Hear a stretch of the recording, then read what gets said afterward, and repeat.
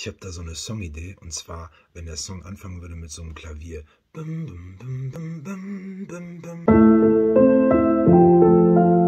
Und dann kommt so eine Gitarre rein. Und dann brauchen wir noch so einen richtig schönen hip-hopigen Beat. Dann brauchen wir noch so eine richtig fette 808.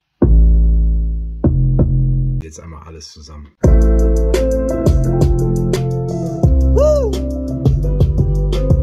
Ich habe da auch schon so eine Melodie, die mir die ganze Zeit durch den Kopf geht, so.